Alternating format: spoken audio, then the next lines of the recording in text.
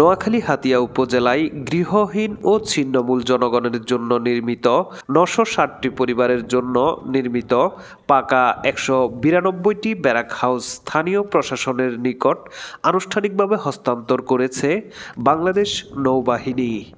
চব্বিশ মে এগুলো বুঝিয়ে দেয়া হয়। মাননীয় প্রধানমন্ত্রীর প্রত্যক্ষ দিক নির্দেশনায় ও প্রধানমন্ত্রীর কার্যালয়ের আওতায় এবং সশস্ত্র বাহিনী বিভাগের সার্বিক তত্ত্বাবধানে নৌবাহিনী এসব ব্যারাক হাউসগুলো নির্মাণ করে। প্রতিটি ব্যারাকে পাঁচটি করে মোট নয়শো ষাটটি ইউনিট রয়েছে, যেখানে প্রতিটিতে একটি করে পরিবার থাকতে পারবে। প্রতিটি ব্যারাকে পৃথক রান্নাঘর ও বাথরুমের সুবিধা রয়েছে। হাতিয়া উপজেলা নির্বাহী কর্মকর্তা মোহাম্মদ কাইসার খসরু আনুষ্ঠানিকভাবে নৌবাহিনীর নির্মিত আবাসন ব্যারাকগুলো বুঝে নেন।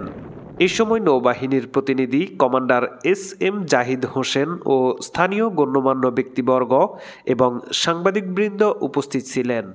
উল্লেখ্য, এর আগে আশ্রয়ন প্রকল্প দুইয়ের আওতায় বাগেরহাট বোলা ফিরোজপুর, বরগুনা, বরিশাল, জালকাঠি, চট্টগ্রাম, নোয়াখালী ও কক্সবাজার জেলার সর্বমোট দুশো চব্বিশটি প্রকল্পে চার হাজার দুশো সতেরোটি ব্যারাক হাউস নির্মাণ শেষে স্থানীয় প্রশাসনের নিকট হস্তান্তর করে নৌবাহিনী।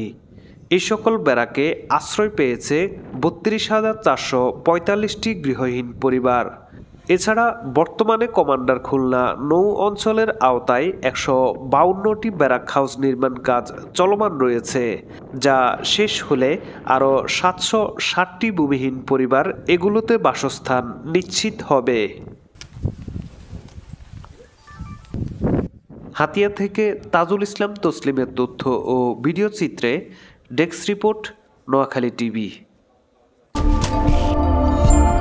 Noakhali TV বৃহত্তর নোয়াখালীর প্রতিচ্ছবি